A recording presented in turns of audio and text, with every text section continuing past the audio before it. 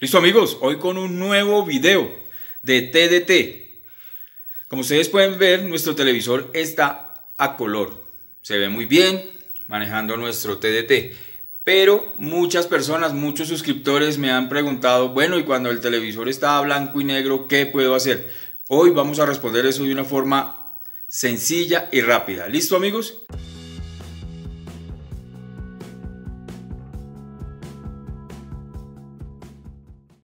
Amigos, quiero mostrarles las nuevas camisetas del Rincón del Conocimiento. Este es el logo que tenemos ahora. Quiero decirles que muy pronto estaré obsequiando camisetas de estas, gorras, con el nuevo logo del Rincón del Conocimiento a todos mis suscriptores. Comenten amigos, ¿qué les parece? No, suerte. Listo amigos, entonces así está nuestro televisor o el televisor de muchas personas a blanco y negro como pueden ver está nuestro decodificador. Entonces, ¿cómo vamos a solucionar esto? Muy sencillo, vamos a nuestro control, buscamos menú, en menú buscamos la parte que dice imagen. Una vez estamos en imagen, bajamos y buscamos formato de televisión. Si ustedes pueden observar, dice PAL N. ¿Cuál es la solución?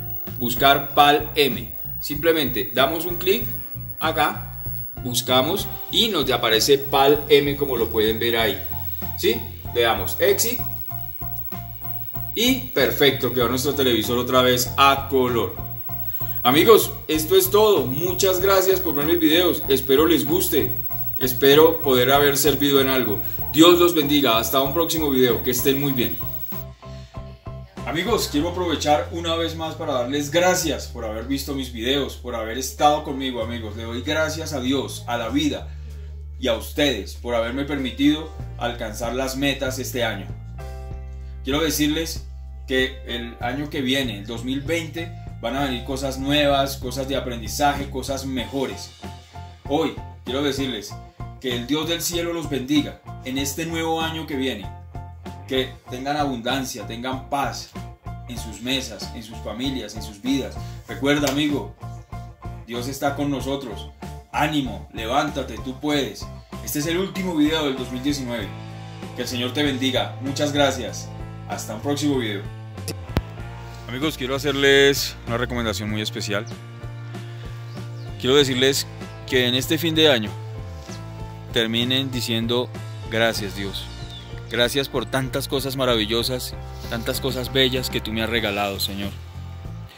No terminen quejándose de que lo que le hizo falta, de lo que no tienen. Piensen que vienen cosas mejores, viene abundancia, paz. Les deseo un feliz año, un próspero 2020 y que Dios los bendiga. Hasta próximo, amigos.